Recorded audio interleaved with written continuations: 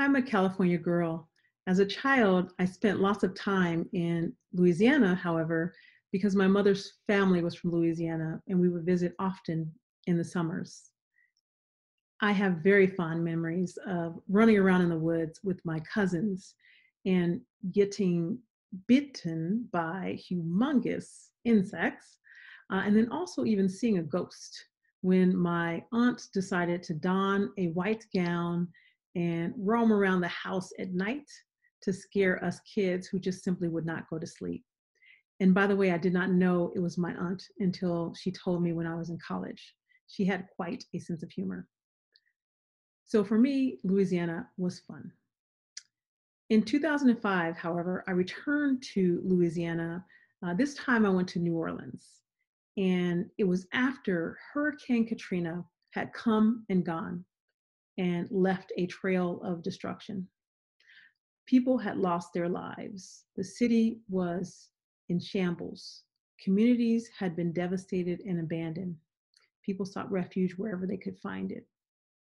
Many of us sat at home looking at these images on our TV screens, just wondering how we could help, what we could do.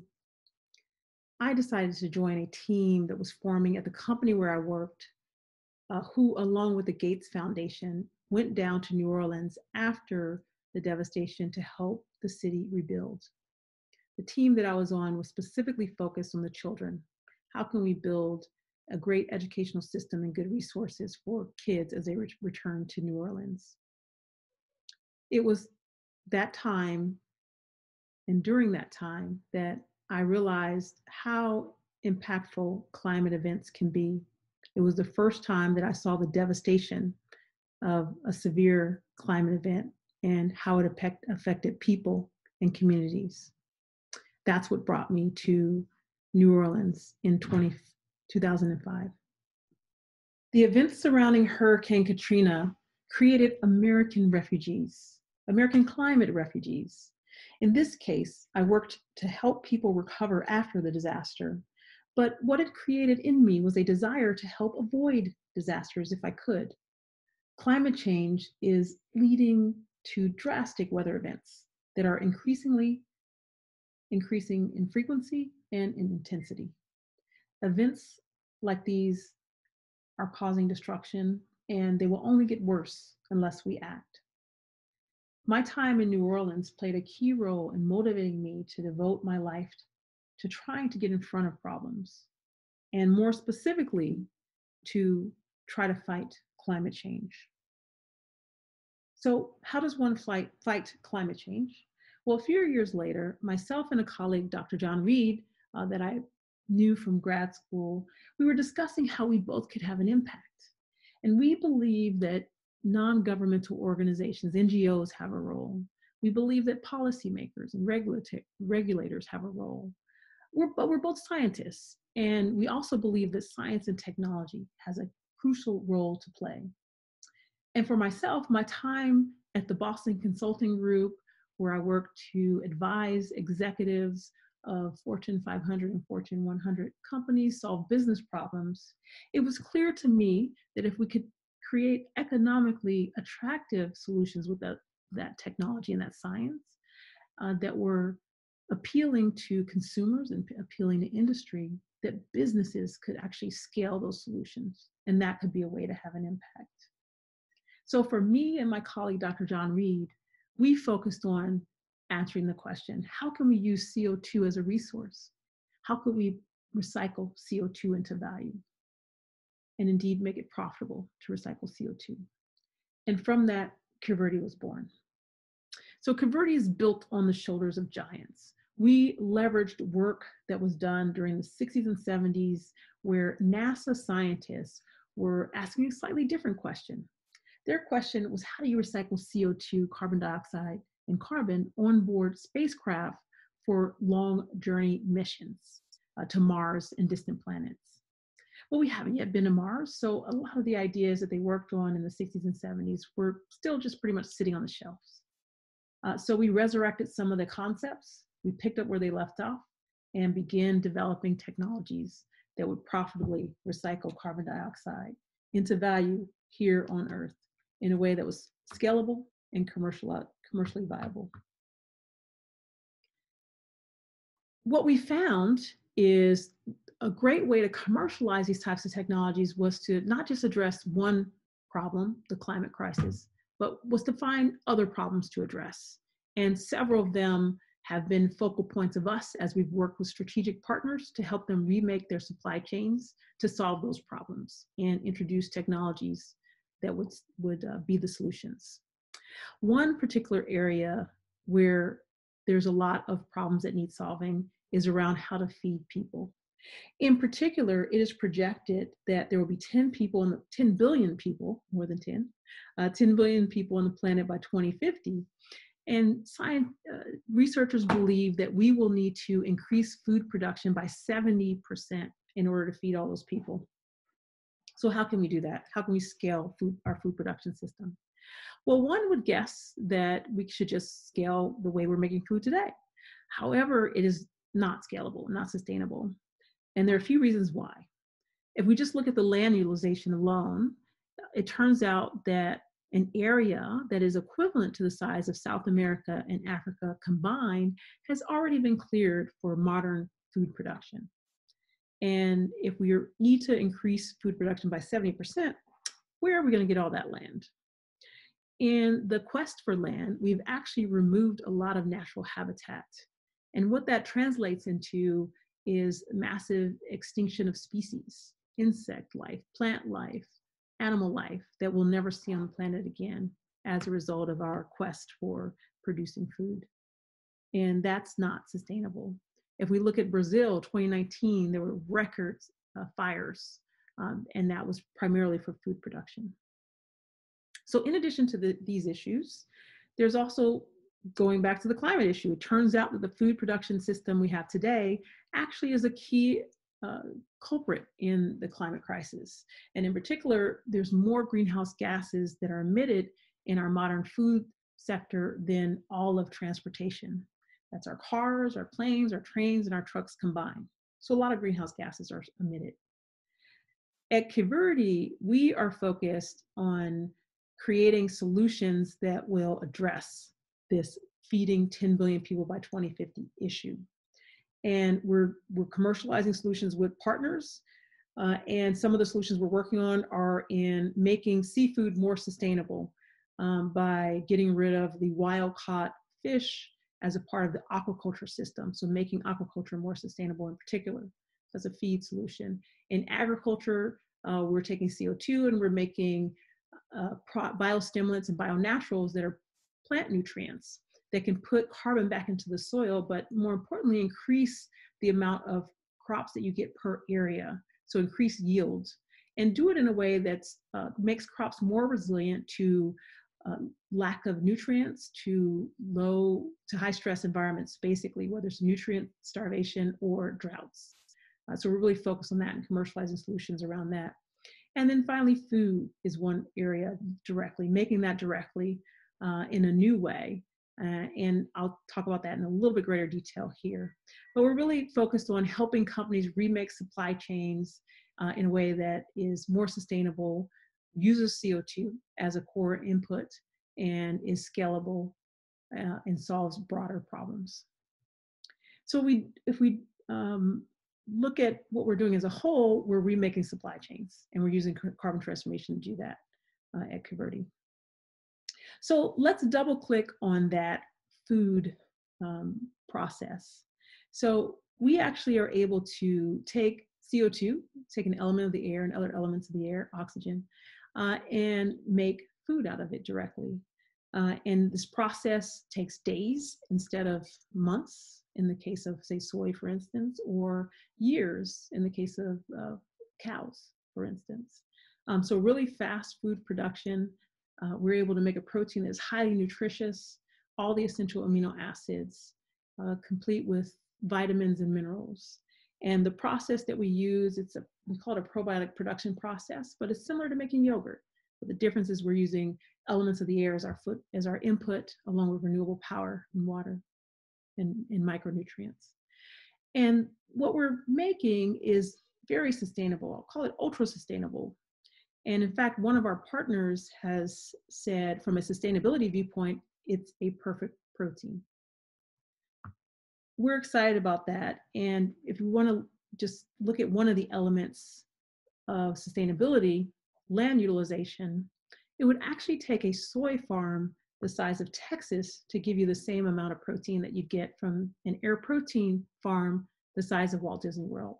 So significantly smaller footprint, uh, less utilization of resources, and much more sustainable. So that's a way of, of making an ingredient for food products. To talk about how that's relevant for us today, you know, how can one give a talk without talking about the pandemic, this new reality that we're facing that no one could have predicted. Well, well, no one except Bill Gates, but for the rest of us, this is, you know, very unprecedented situation for us to find ourselves in, where we are all looking at the numbers and waiting for them, wishing them to come down. We're concerned about our loved ones, and we're, you know, appreciating the little things a little bit more. So change is a part of our everyday lives now. And our food system has seen quite a lot of disruption. We're seeing the food supply chain uh, experience a lot of changes that will impact the way food is made and those supply chains in the future. Things will not ever be the same again. Uh, we're seeing delivery and online uh, ordering increasing, so online grocers are seeing increased uh, demand. We're seeing local being more preferred, a um, lot more community uh, supported agriculture, CSA. Uh, companies are, are overbooked and have wait lists. Uh, and so these are some of the things that we're seeing change in the food supply chain. But one of the biggest sectors that have been impacted really is the meat industry. Uh, we've watched as thousands of employees of the meat industry have caught the virus, have been infected. We're seeing closures of plants. And in many cases, we're seeing people not getting the meat delivered to grocery stores and restaurants. We're seeing empty shelves. So the supply chain for meat has been significantly disrupted. So our hearts go out to the people that are being impacted, and, and we're all in this together, really. Um, as we see the supply chain disruption, we can ask the question, can we rethink the fundamentals? Can we rethink the meat supply chain? And in order to do that, we'd actually have to start at the beginning. And we have to start with the question, can we redefine what it, meat means? Uh, so instead of defining meat as based on its source, you know, whether it came from a pig or chicken or a cow, can we define meat based on the collection of proteins and oils and flavors and textures that you experience when you sit down to enjoy a great meal? If the answer is yes, then we can think of other ways to make meat in the future. And as we all know, there are many companies working on this, and we're excited about this new uh, alternative meat sector that really is exploding right now. But where do elements of the air come in when thinking about this problem? And more explicitly, can meat be made from elements of the air? Well, the answer is yes. If we look at the protein that we're able to make from elements of the air, then we can use that to make meat. And in order to talk through the process a little bit in a little bit greater detail, let's start back with how alternative proteins are being made today using, for instance, soy. So if you have a soybean, uh, you need an energy source, solar energy, and plants are actually autotrophic, which means that they use CO2 as their carbon source. And so plants get CO2 from the air.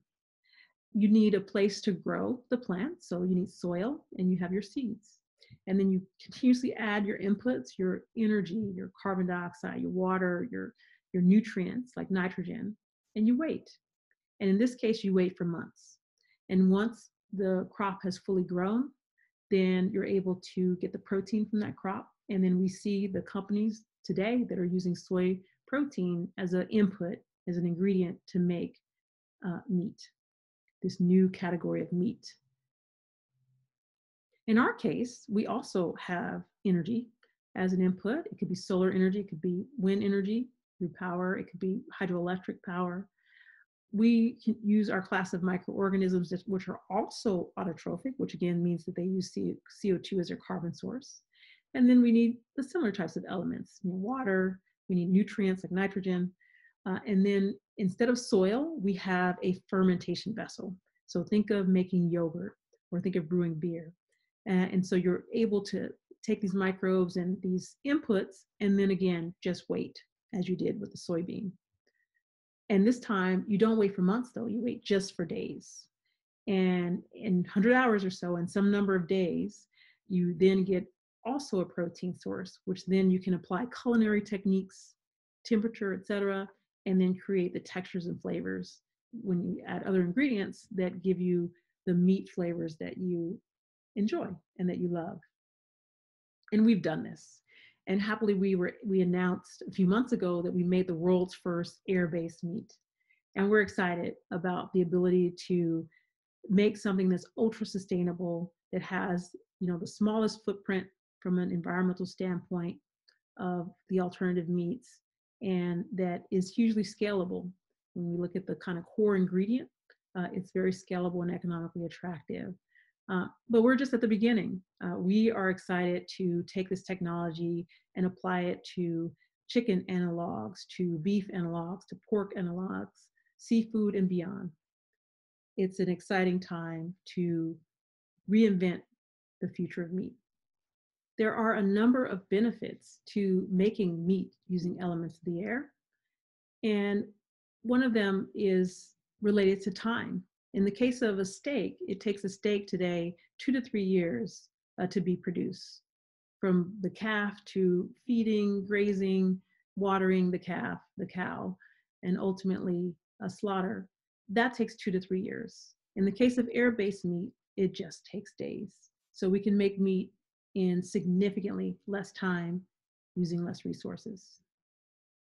In addition, we are not we don't have any climatary constraints the process uh, happens in a um, similar to making yogurt or making or brewing beer.